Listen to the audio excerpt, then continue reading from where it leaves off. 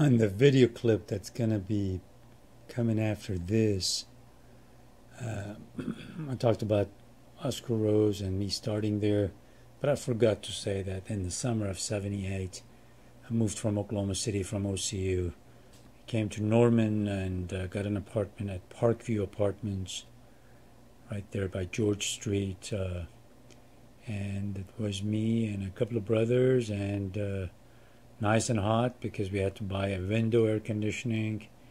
Anyways, I used to commute back and forth to Oscar Rose and just uh, wanted to let you know.